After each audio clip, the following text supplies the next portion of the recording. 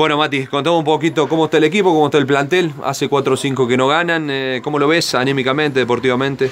No, anímicamente estamos bien, eh, mal en el sentido de que todos queremos ganar, queremos volver a la victoria, trabajando duro para poder salir de esta mala racha, pero el grupo se encuentra bien. Se viene un duro partido de escuela. ¿Cuál va a ser la clave para que vuelvan a ganar y ganen en motivación, en confianza y demás? Sí, el partido va a ser duro, como siempre que fue con la escuela. Creo que la clave va a estar en estar concentrado, ganar el medio campo, estar atento a la segunda pelota siempre, tratar de ganar todas las divididas y creo que en eso va a estar el partido y así lograr la victoria. A nivel personal conforme, ¿cómo la ves a la defensa? A nivel individual, colectivo.